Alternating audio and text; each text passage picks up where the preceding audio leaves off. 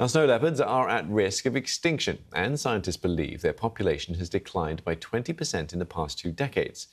Now, conservationists in Pakistan are testing AI powered cameras to try to save the big cats. Our Pakistan correspondent Azadeh Moshiri has been finding out how. Beautiful, solitary, and in captivity. Today, all snow leopards are at risk. Conservationists are hoping technology could help save them. There are at least 300 snow leopards in Pakistan. We set off trying to understand what's being done to protect them. Snow leopards are also called ghosts of the mountains because they're so hard to spot and therefore to count. Yet conservationists say tracking and documenting them is important because their survival is vital to our ecosystem. By hunting ibex and blue sheep, snow leopards prevent overgrazing and protect mountain habitats. But sometimes they set their sights on villages and softer targets. Farmers hunt snow leopards in retaliation, but their population is in decline around the world, so conservationists are trying to convince locals to spare them. Sitara lost all six of her sheep in one day. And you haven't been able to replace those animals? No, I don't have any money now. How can I buy them?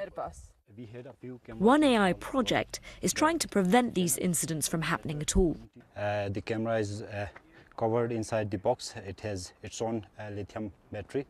Uh, the battery is also customized and custom made uh, specifically for this area. So, how does it all work? This is the early predatory warning system. And after years and using artificial intelligence, this camera can now tell if what's in front of it is an animal, a human, or even a snow leopard. The goal is to warn communities that a snow leopard is nearby so that they can move their livestock to safety. The camera captures these images locally and then transfers them to a dashboard. What's that one right there? That's yeah, me. Yeah, there's you. But I'm clearly a human being. Is it this? Asif, do you think it's Might my, be- my jacket? Might be your jacket. Uh, but not everyone agrees technology can help. We used to have 40 to 50 sheep. Now we've only got four or five.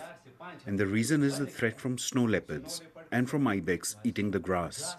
So, what benefit are we getting from these snow leopards?